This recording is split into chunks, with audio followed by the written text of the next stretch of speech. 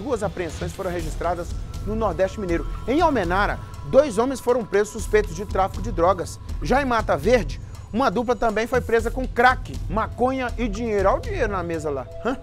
Fantoni Pes está chegando para falar. É droga para todo lado, né, Fantoni?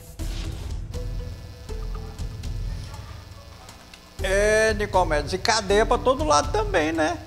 Cadeia para todo lado. Essa questão dessa audiência de custódia aí, essa, essa alegação aí, eu quero saber qual foi a vizinha aí. Parece que tem uma vizinha batendo, essas autores já deve ter alguém batendo aí no portão da TV Leste aí para saber onde é que foi que vocês arrancaram essas, essas plantas aí, hein, rapaz? Presta atenção nesse negócio aí. Daqui a pouco tem vizinho batendo na porta aqui, ah, vai arrancar minhas plantinhas aqui, desgaiaram a minha árvore aqui. Vai, aí, aí você acha que você passa na audiência de custódia, Nicomedes? Quem, quem, quem, arrumou, quem arrumou essa. Esse, é, é uma planta cenográfica. quem arrumou essa cenografia foi o Albuquerque Júnior, o diretor. Ah, tá. Ele foi lá no pezinho de goiaba que o coitado do Zé João plantou e arrancou uma galha lá. E arrancou uma galha com a goiaba ainda. É. Só que é o seguinte: se o Zé João estiver assistindo o Balan Geral, eu não vou falar que foi o Júnior para não arrumar confusão com o Zé João.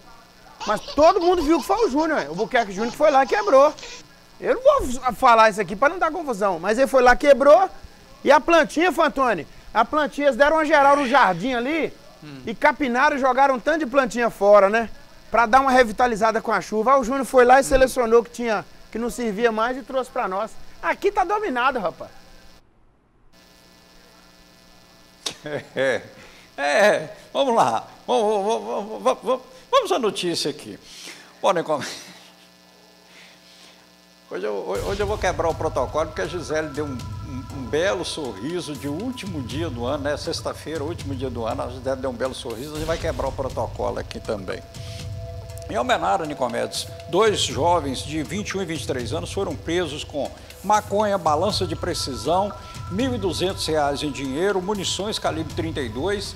Esse material foi apreendido porque a polícia recebeu informação e foi até o local, observou os dois cidadãos e confirmou e eles foram presos. Foram levados para a delegacia de Almenara.